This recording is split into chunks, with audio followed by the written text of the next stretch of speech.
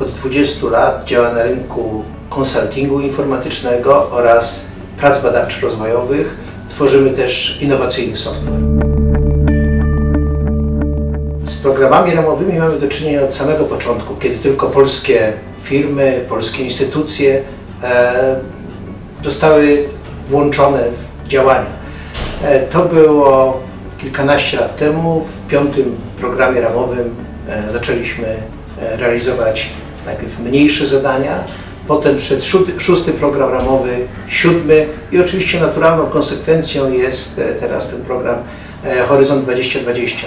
Łącznie e, jesteśmy doświadczoną firmą w realizacji projektów międzynarodowych. Wykonaliśmy zadania w ponad 40 projektach. W programie Horyzont 2020 firma ITTI uczestniczy w sześciu projektach.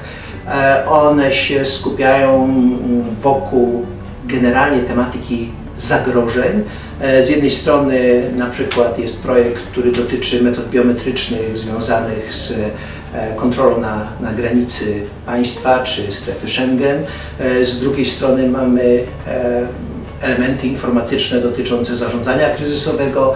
Jesteśmy również w projekcie stricte informatycznym dotyczących nowych metod tworzenia oprogramowania. Także to jest tematyka, którą się najbardziej interesujemy. Sugerowałbym odwagę.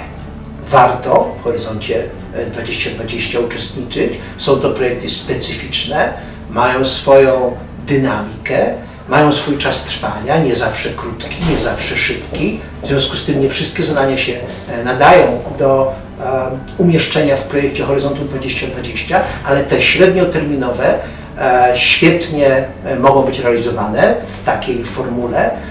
Mm, wydaje się, że warto mieć, warto zaczynać od mniejszych zadań, nie aspirować od razu do ról, do ról pierwszoplanowych, i zdawać sobie sprawę, że e, na średnią metę będzie decydować jakość pracy, e, profesjonalizm i to, co się dostarcza, wartość dodana, która się wnosi do, którą się wnosi do projektu, a to widać, to widać od razu.